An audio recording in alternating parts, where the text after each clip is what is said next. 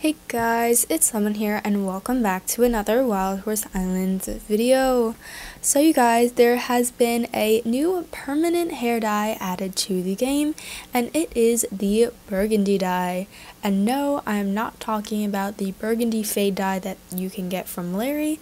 There is a new burgundy dye, just a normal burgundy dye that you can buy from Sweetie's shop for tokens.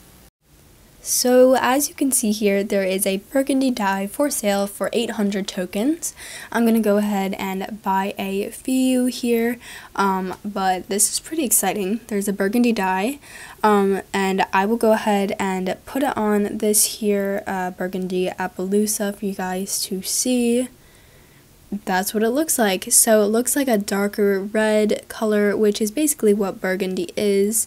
That's what it looks like. Honestly, it could probably pass off as the burgundy fade.